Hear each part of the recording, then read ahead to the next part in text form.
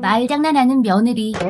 옛날 늦잠 자는 며느리를 보고 시어머니가 한마디 했다. 아니 해가 짧은데 바느질을 언제 다 하려고 이렇게 잠만 자고 있냐? 해가 짧다고요? 해는 둥글잖아요, 어머니. 아휴, 말도 참 기막히구나. 그쵸. 저희 마을이 좀 기막히긴 하죠. 기와집 하나 없는 마을이잖아요. 어디 한 마을이나 지겠니? 한 말은 가벼우니까 치죠. 두 말은 무겁잖아요.